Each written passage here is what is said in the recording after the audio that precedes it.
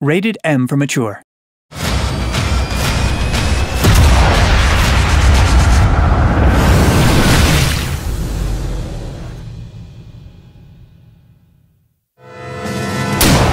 Oh boy, another experiment. It was wonderful for Rebellion to ask if they could come over and photograph some of the authentic weapons and vehicles that we've got. I was quite amazed at how this works because for each item they would take three or four hundred photographs to make sure it was absolutely perfect. We've done German half tracks, German tanks, all kinds of artillery pieces, the one parts. We did a Kettenkrad. Kettenkrad is a tracked vehicle. It's like a motorbike with tracks on. This particular Kettenkrad was in the film Saving Private Ryan, and a lot of people might remember it's the one where it nearly topples over it goes around the corner. I nearly had a heart attack that day, but that's another thing. It's all about getting the detail of the items so it looks 100% authentic on this fantastic video game. It's very important to us in all of our games that guns sound as realistic as possible. Our artists go to great lengths to visually represent the guns. Of course, we apply the same rigorous, uncompromising approach to the sound.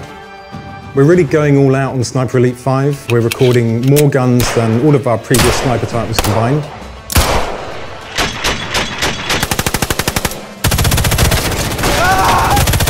We all know Karl likes to sneak around, stealthily picking off the enemy with his silenced pistol.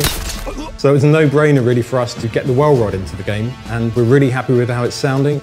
And it's great to have that level of detail for one of our signature weapons. So we're really going for authenticity. Sniper Elite is a very cinematic sounding game. So when you hear a rifle in Sniper, we want it to sound big, we want it to sound exciting, but we also want it to be based in realism. We're going to be setting the microphones up at various points down range from the guns so that we can get a number of different perspectives. So we'll be recording up close, we're going to be recording far away. Close recordings will give us some nice mechanical detail. And the distant recordings that we can use for distant gunshots in the game. So the most exciting gun for me to capture is probably the Thompson. It's a gun that has a lot of history. Hearing all of the mechanical parts moving, recording every single element of it, and the firing itself was just really fun.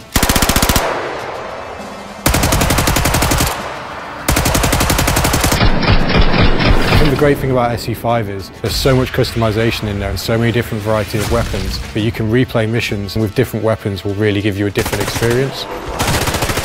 Kind of gone to town um, from front to back, you know, stock, magazines, receivers, through to barrels, scopes, iron sights. There's, there's a lot in there. They all exist within the world in workbenches, and these will be located in strategic locations or hidden away in a sort of back room in what we call armories or resistance caches.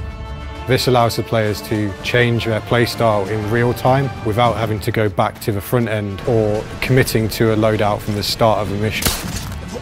So in SE5 we've added the ability to look down iron sights which takes you more into a more immersive first person style view. There's four main archetypes of how you can play Sniper Elite. Stealth, we've got power, we've got speed, and we've got control, and control might be like you sit back on a hill 600 meters away and snipe out your targets carefully. Or you might run and gun and you take in the big gun, loud, and you just lay down fire. What we wanted to do is set up a loadout system, weapons, equipment, items that let you play in the way that you want to play. Working with partners such as the Imperial War Museum and Royal Armouries gives us a level of authenticity that helps us elevate the game and add historical accuracy as well. We tried to encourage more focus on thinking and planning, which is really what underpins the Sniper Elite experience.